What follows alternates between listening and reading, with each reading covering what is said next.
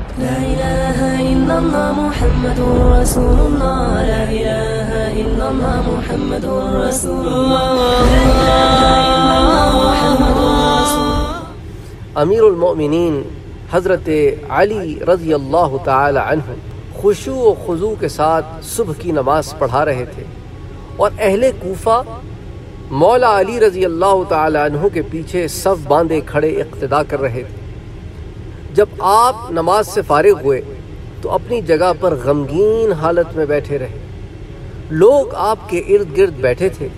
یہاں تک کہ سورج طلوع ہو گیا اور اس کی شعائیں مسجد کی دیواروں پر پڑنے لگیں۔ حضرت علی کرم اللہ وجہ اٹھے اور دو رکعت نماز ادا فرمائی۔ پھر حسرت اور تعجب کے انداز میں فرمانے لگے میں نے محمد رسول اللہ صلی اللہ علیہ وآلہ وسلم کے اصحاب کی زیارت کی ہے۔ آج میں کوئی چیز نہیں دیکھتا جو ان کے مشابہ ہو۔ اصحاب رسول صلی اللہ علیہ وآلہ وسلم کی صبح اس حال میں ہوتی تھی کہ آنکھوں سے شب بیداری کے آثار جھلکتے تھے، جس سے محسوس ہوتا تھا کہ ان کی راتیں ان کی راتیں خدا کے حضور سجدہ ریزی میں گزری ہیں۔ وہ لوگ اللہ کی کتاب کی تلاوت کیا کرتے تھے۔ ہر وقت اللہ کی عبادت میں مصروف رہتے۔ جب اللہ کا ذکر کرتے تو یوں جھومتے جیسے تیز ہوا میں درخت ہلا کرتے ہیں۔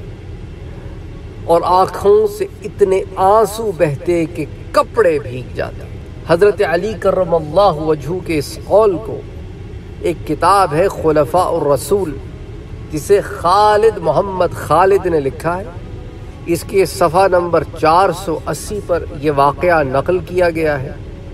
اور اس کتاب کی طباعت پبلیکیشن جو ہے، وہ دار الکتب العلمیہ بیروت لبنان سے ہوئی ہے۔